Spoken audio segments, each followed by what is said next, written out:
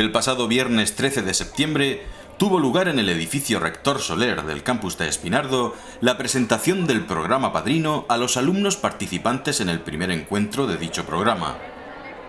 Participan en el programa Padrino los alumnos de la Universidad de Murcia que al menos se encuentren en su segundo año de estudios y que residan en la ciudad de Murcia durante todo el curso académico. Las principales tareas a realizar por los alumnos admitidos van encaminadas a familiarizar y asesorar a los alumnos extranjeros en los trámites básicos durante su estancia en Murcia y en la universidad.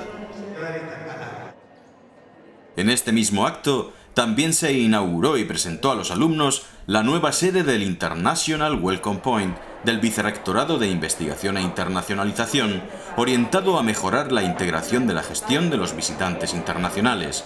esa misma mañana, el rector José Antonio Covacho y el vicerrector de Investigación e Internacionalización, Gaspar Ross, recibieron a los miembros de la delegación del Centro de Ciencias Agrarias, Ambientales y Biológicas de la Universidad Federal de Recóncavo de Bahía, en Brasil.